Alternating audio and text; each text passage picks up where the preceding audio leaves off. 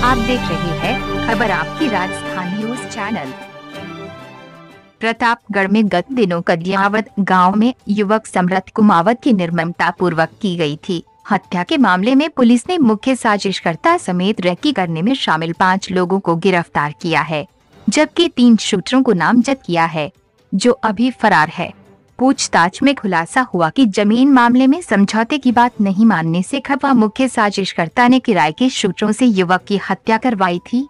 Police अधीक्षक शिवराज मीना ने बताया कि हत्या के मामले में मुख्य साजिशकर्ता खैपुर निवासी रोशन खां और साजिश में सहयोग देने वाले संचयी गाँव निवासी सुखलाल गायरी, रविंद्र सिंह, प्रकाश गायरी, ओम प्रकाश गिरी को गिरफ़्तार किया गया है। जबकि गोली मारने वाले आरोपियों की पहचान सौयद उर्फ़ सोइन, पुत्र मिठू खां उर्फ़ शब्बीर खान निवासी मंडावल, दरवाज़ा ताक जिला रतलाम साजिद उर्फ़ भैया, पुत्र हमीद खां और अमजद उर्फ़ टिकोला, पुत्र अहमद कुंजडा निवासी इस्लामपुरा ताक जिला रतलाम मध्य प्रदेश के रूप में की गई है। तीनों शूटर भनक लगते ही फरार हो गए। गौरतलब है कि 3 नवंबर को समृत पुत्र बद्रीलाल कुमावत निवासी संचय की कदियावत गाँव में एक अन्य बाइक पर आए तीन नकाबपोश युवकों ने उसे गोली मारकर सड़क पर गिरा दिया था। इसके बाद गला रेत कर हत्या कर दी थी। खबर आपकी राजस्थान से दिलीप टांग की रिपोर्ट।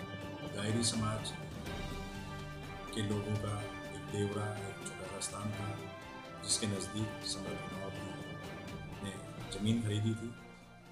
उस आपसी विवाद के अंदर रोशम खां निवासी अखेपुर को पंचायत करने के लिए बुलाया था और उसमें मृतक ने उसकी बात नहीं मानी, उसको बेइज्जत कर दिया। रोशम खान ने के दिमाग में वो चीज़ खटक गई कि इसको ठिकाने लगाना है। इस बात के लिए उसने पूर्व में उसका क्रिमिनल रिकॉर्ड है हिस्ट्री सीटर है। तो इस तरह के मध्य प्रदेश से उसने शूटर बुलाए और अपनी पहचान को छुपाते हुए सीधा गायरियों से इलाज के बहाने आदमी भेज के और उनका माइंड वाश करके उनको अपना बनाया और उनसे रेकी करवा कर ये घटना कारित की पीछे किसी भी तरह का तकनीकी चीज़ों का न वहाँ पे मौके पर कोई वीडियो या कोई सीसीटीवी फुटेज दें। न उन बदमाशों ने अपने मोबाइल यूज़ किए, बिना मोबाइल के वो आए थे। लेकिन हमारी टीम ने कड़ी से कड़ी जोड़कर अथक प्रयास करके इस घटना क्रम को, का इस घटना का पर्दाफाश किया।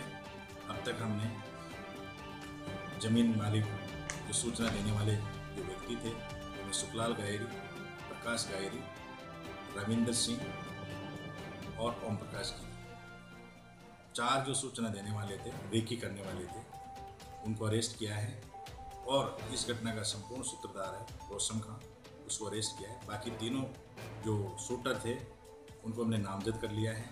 वो घटना के बाद से उनके घर पे थे, लेकिन हमारी टीम पहुँचने से पहले वो फरार हो गए, जिनको शीघ्र हम गिरफ़्तार करेंगे। तो हमारी इस टीम ने बहुत बेहतर काम किया है, जिसके लिए जो भी प्रस्ताव